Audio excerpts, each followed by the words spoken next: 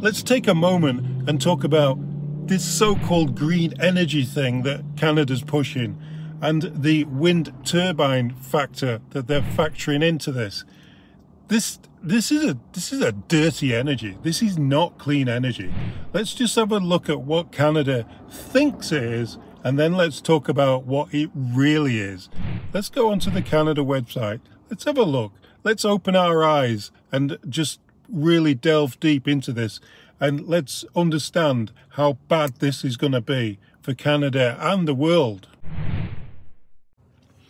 So it looks like the federal government have invested in 12 new wind, solar and smart grid projects with Alberta Indigenous and industrial partners.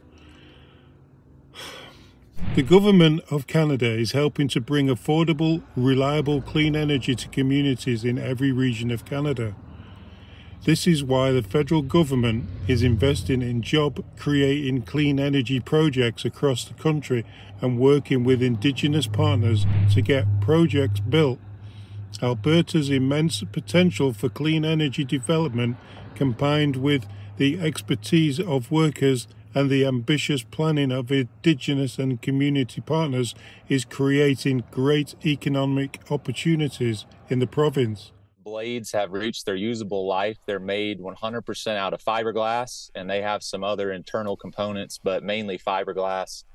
And there's no real uh, process or mechanism to recycle these blades. I don't believe they're even saying this.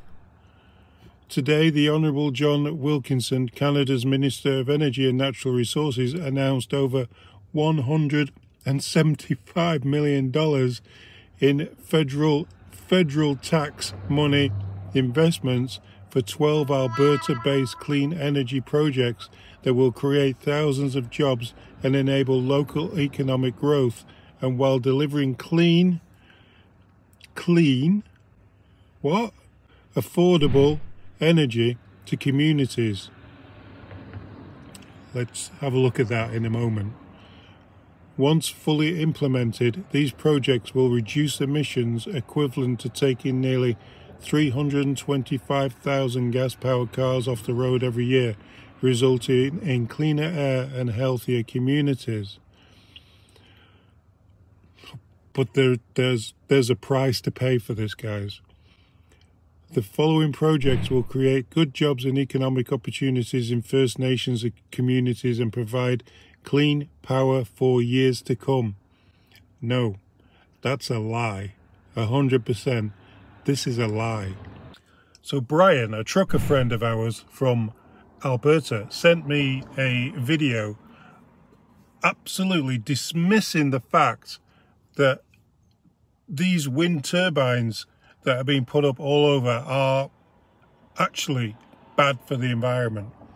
The actual blades themselves are only valued, their only valued use is two years until they are then scrapped and taken to junkyards and put in these yards and pushed out pushed out of the mind's eye where they create more fiberglass resin blades to replace them. These are all um, expired blades that have reached their usable life. As you can see, these blades have been stored and not been recycled. The blades behind the guy are just cut up, stacked up. They're actually cut into pieces so they can be stacked in this way to save space and not recycled. Not only are they wastage, they're also they also damage uh, wildlife, bird life, and when they put these things out in the sea, it wrecks sea life.